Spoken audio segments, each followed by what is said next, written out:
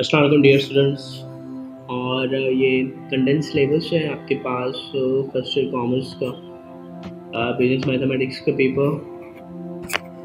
इसमें ऑलमोस्ट वो तमाम पॉइंट्स इंक्लूड हैं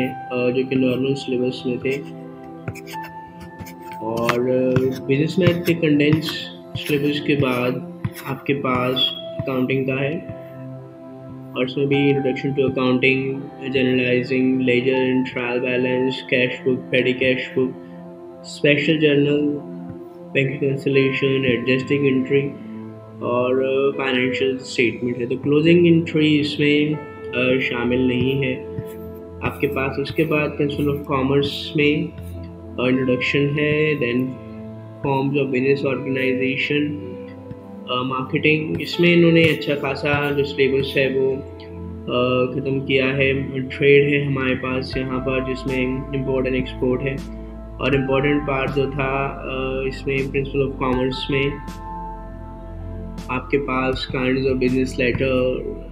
business communication वो पार्ट इन्होंने ओमिट कर दिया है। Then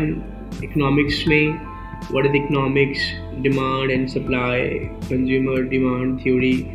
cost revenue form price output determination national income business cycle international trade public finance